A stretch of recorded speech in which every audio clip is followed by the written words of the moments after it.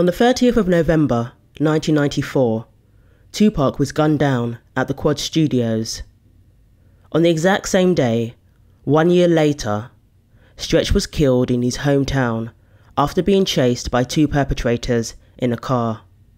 Coincidence? Or a clear message that this was a revenge killing on behalf of Tupac?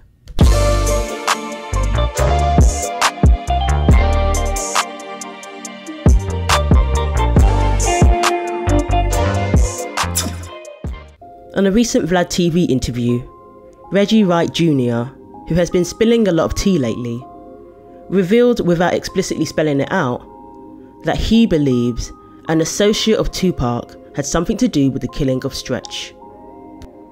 It's well known that up until the time of his death, Tupac believed Stretch had something to do with the Quad Studios shooting.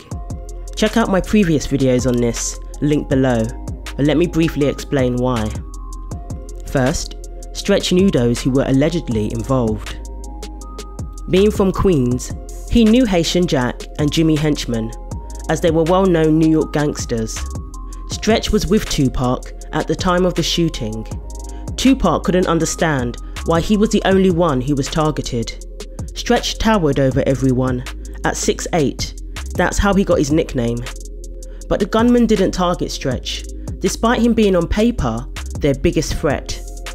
In an interview with Vibe writer Kevin Powell, Pac said, I was like, what should I do? I'm thinking Stretch is going to fight. He was towering over those. From what I know about the criminal element, if a guy comes to rob you, they always go for the big dude first. But they didn't touch Stretch. They came straight to me. Everybody dropped to the floor like potatoes. But I just froze up. It wasn't like I was being brave or nothing. I just could not get on the floor. And then, Stretch relayed information from Jimmy Henchman while Pac was recovering from the shooting. That's when he became suspicious of him and thought he had something to do with setting him up. Now, all the evidence points towards Tupac being set up. He was commissioned to work with Little Shawn, an artist who was represented by Jimmy Henchman, a known New York gangster who turned music manager. So, uh, when dude got there and got off the elevator. Okay, I was just, I gotta I gotta ask. When you say dude, you say Tupac. Tupac. All right, cool. So even the account that he made, that's not what happened. What's the account that he made? Can we? Can we He said recap? everybody. He said got the elevator. Everybody ran from him, and they wasn't. That's not what happened. we ran towards him, and we was Wow. trying to get him to sit down. Wow. And he went to sit down, and he popped back up. Because Which is he- what C says. he C was says that all clapping the time. hands. Yes, he said that. Yes, but we didn't know, right? And he said, "Call my mother." And detectives got there. Ambulance got there, right? And they put him in the, the gurney and they stood him up and they brought him in the elevator to bring him down. Speaking about his reasons for going there, Tupac admitted that he had reservations and that he was suspicious of Jimmy Henchman. He said, quote, I met him through some rough characters I knew. He was trying to get legitimate and all that, so I thought I was doing him a favour. But when I called him back for directions, he was like, I don't have the money. So I said, if you don't have the money, I'm not coming. Tupac didn't really like to charge people if he thought he was doing them a favour, especially his fellow black people, because he wanted to help them, you know, get ahead as well.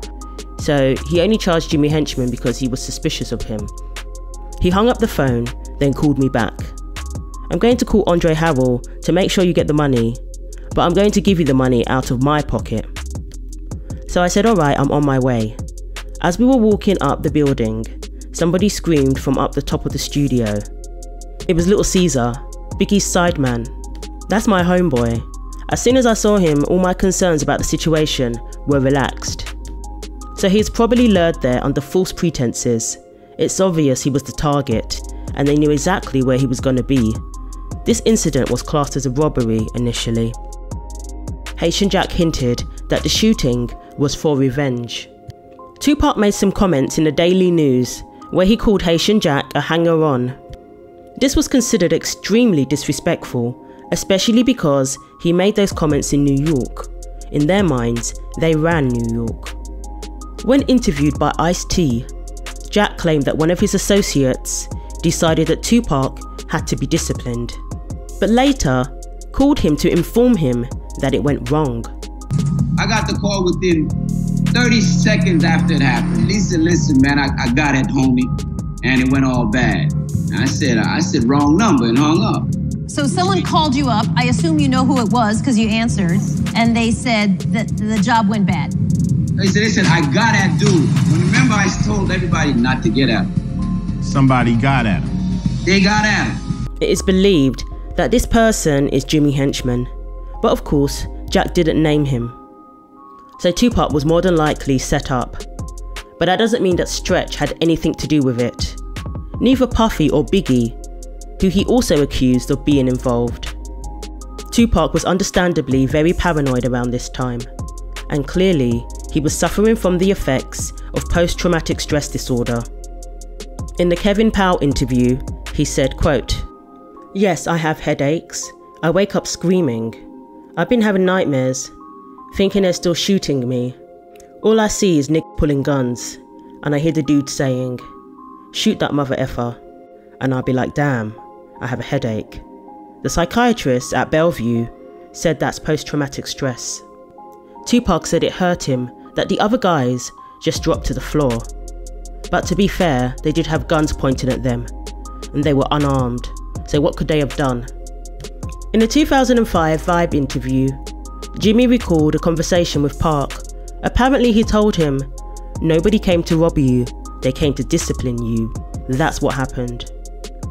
Stretch was on Tupac's song, Many Tears, but he was removed from the track just in time for the third album, All Eyez on Me, Speaking of the fallout and Tupac's suspicion of him, Stretch himself said, Me and Pac have been down from day one, before he did Juice. That's my man. So the interview he did in Vibe bugged me out. But I know him.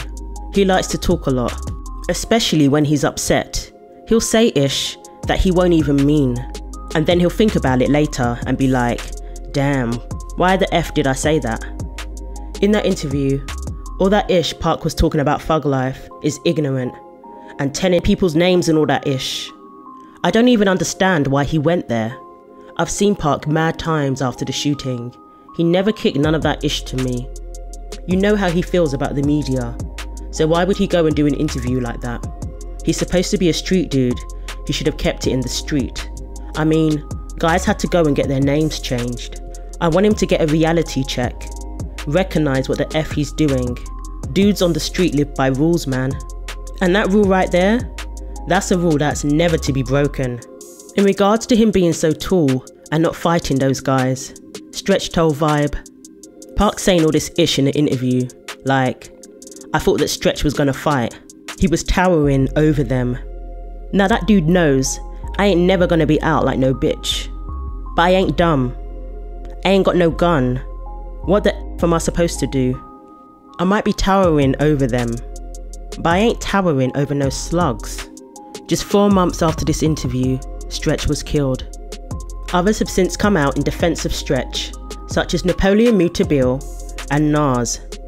And also, the boyfriend of Tupac's sister at the time, Zayd, who was there that night too, he also believes that Stretch had nothing to do with it, and that it was unfair for Tupac to talk about them dropping like potatoes. That part always cracks me up. The general consensus is that it was Jimmy Henchman behind it all, allegedly. Jimmy Henchman is currently serving a life sentence, plus 20 years. He practically had a lifetime of runnings with the law. He was convicted of drug trafficking, conspiracy to murder, and murder for hire. Exactly a year after the quad shooting, apparently almost to the minute, Stretch was chased by two guys in a car. After a high speed chase, Stretch was shot and crashed his car into a tree. He had just dropped off his brother after giving him a ride. According to Nas, he had given him a ride that night too.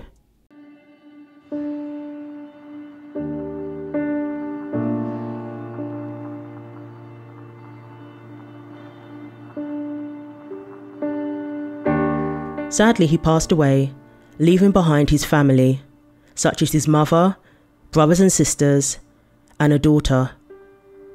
His daughter was incidentally Tupac's goddaughter. At the time of the killing, Stretch's mother said, He never talked to me about having enemies. My son was a very loving, kind person. I don't know why they did this to him. When Tupac was asked about Stretch's murder, honestly, Tupac sounded pretty matter of fact about it. In an interview with Source magazine, he said, Stretch was my closest dog, my closest homie. I did a lot of drama. I got into a lot of cases and ish because of Stretch. Money wise, he could have had anything. His daughter was my daughter. Whatever she wanted, she could have. Then this stuff happened, and he didn't ride for me. He didn't do what your dog is supposed to do when you're shut up. When I was in jail, he never wrote me, he never got at me. His homeboys was coming to see me, and he wasn't coming to see me. And he started hanging around Biggie right after this. I'm in jail, shut up. His main dog and he hanging out and going to shows with Biggie. Both of them never came to see me. And here we are in 2021, still talking about it. And we hear Reggie Wright Jr. hinting that maybe Stretch's killing was a revenge killing on behalf of Tupac. So we have the date of the killing, exactly a year after the quad shooting. And he said Tupac was seen hugging someone in the studio. He was known for being involved in some sketchy activities.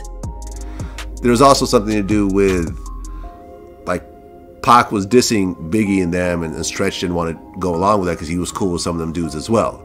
Okay. You know, I mean, that's what I heard. But you you have your take. Only on this. reason my opinion is only reason because Yeah. I don't have no first hand knowledge of this is number one. It happened on the anniversary date of the shooting incident at the Quad Studios with Tupac. Yeah. Happened on that uh, a year to the date. Associated of ours was out there. He came back a day or two later. Pac hugged him like he was Kadada. Hmm. That's all I'll say. Okay. Somewhat inferring that this guy who he hugged has something to do with Stretch's murder. That's my only reason for believing what I believe. Uh huh. Got it. We'll never know, probably. Man's dead now, so Oh, so so the guy who Pac hugged is no longer alive. don't know. So the story probably died along with him. Exactly. Okay. A hug doesn't prove anything, but Reggie seemed to say a lot without saying much. Do you think there's anything behind what Reggie alluded to? That there could be some truth to it? Was Stretch killed on behalf of Tupac? I'd love to hear your thoughts on this. This is something I have always wondered when I heard about Stretch's killing. Thanks for watching. Like and subscribe for weekly videos. Leave a comment and don't forget to press the bell for more.